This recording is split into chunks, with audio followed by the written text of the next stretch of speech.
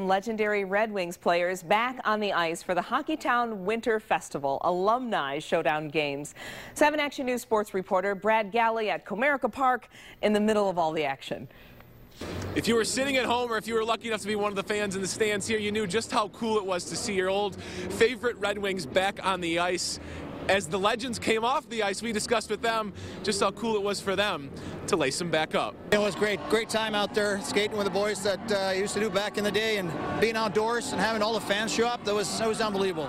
This was a day a lot of people were hoping you'd come back for. I know there was maybe some hesitation. The final decision, you're here. How was it out there? I really enjoyed it. It was a great day. It was fun to be back on the ice. Uh, I really enjoyed skating with the guys. See a lot of these guys. I probably won't see them for a long time again. So really a good day. It's been a while for you. You came off the ice at halftime, I guess, and I said, you look good, and you laughed. Yeah. You feel all right?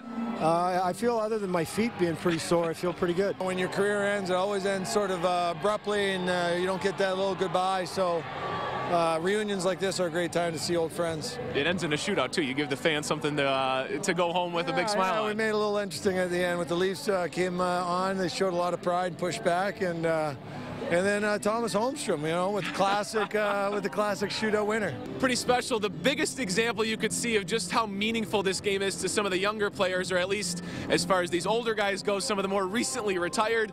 Chris Chelios wore a jersey throughout the entire day that was filled with autographs. I watched as he walked into the locker room, saw Ted Lindsay, walked over and said, Mr. Lindsay, front and center, sign it right here.